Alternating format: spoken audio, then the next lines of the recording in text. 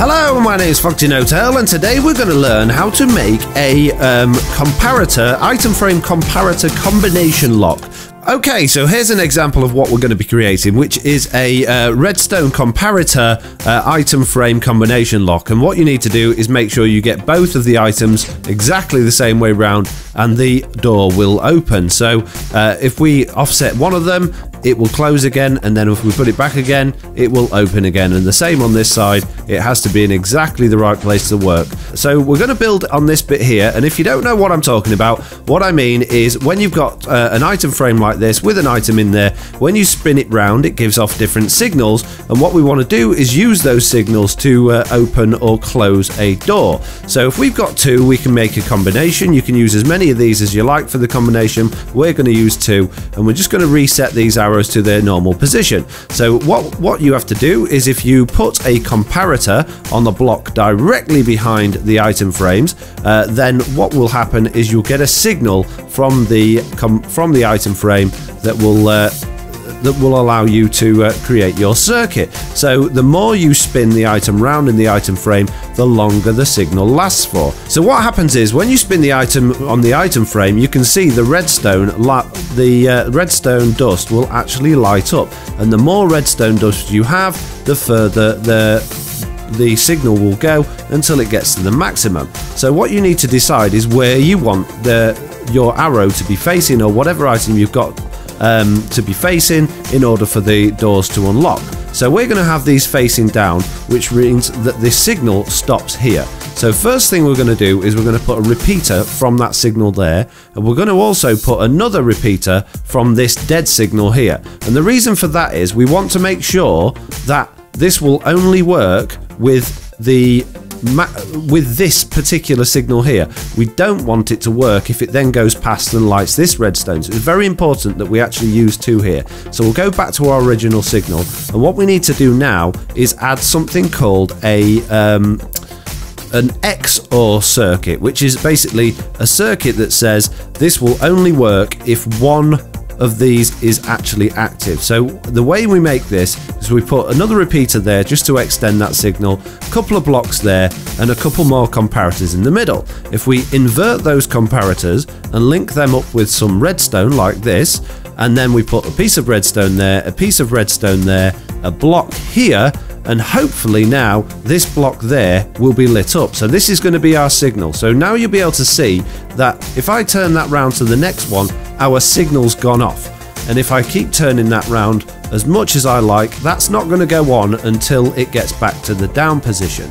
So now will this circuit will only light when that arrow is facing exactly down. So we just need to do exactly the same as that for the other side. But this time I'm going to have this arrow facing upwards. So we need to work out the length of the signal before it turns off, which is here. So we'll have our um, repeater coming off that way and we'll put another repeater like we did before coming off that way and we'll just turn that round and we'll have another XOR circuit here. So two blocks either side, two comparators just in front inverted some redstone dust behind them, a piece of redstone dust, a piece of redstone dust there, a block there, and another piece of redstone dust there. So this is our signal coming up from this one. So now you'll be able to see if this is in any other position, our signal goes off. So you can see the signal there is off. We'll put it round to there. Like the other one, it's off. So that will only work if this one is facing upwards.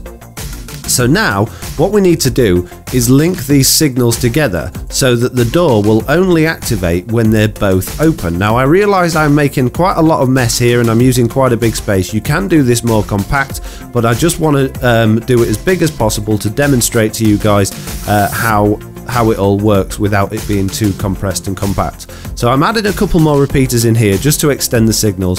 And so we've got two signals coming down. So we only want this to work if they both work together. So what we need now is something called an AND gate. And an AND gate works like this.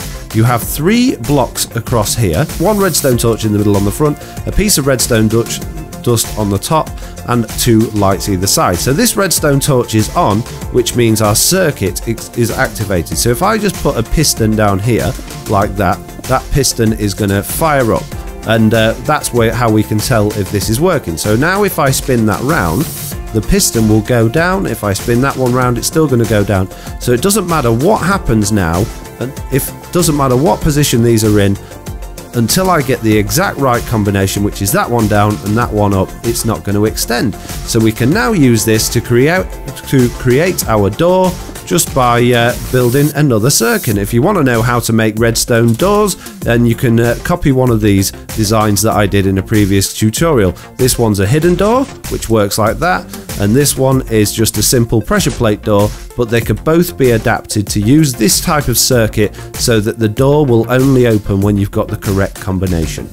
So uh, as you can see, I've made the redstone slightly more compact than we did in the tutorial, uh, and all that's happening is that the comparator is leading down to these signals, which we, comes to an XOR gate, which says it will only work in one position. Same thing on this side, and then both of those XOR gates are coming through to this AND gate, which says if both of them are giving the correct signal, then come up and send the signal to these pistons to open the door. So that's all it is. I know it looks really complicated uh, and to be honest, figuring it out and trying to get it in a small space like that was pretty awkward, but it's it's a good walk. Now you know it's going to be very difficult for somebody to, to guess the combination, especially if you had those item frames quite a long way away from here. I mean, at the moment it's fairly obvious that you need to do something with that. But let's say this item frame was over there and that one was somewhere else, you could create quite a fancy uh, security door with just those uh, items there. So there you go. That's it. That's the end of this tutorial. So thank you very much for watching. I hope you enjoyed the video. If you did, please do leave a like. And if you didn't, don't worry about it. And I'll see you in the next one. Bye.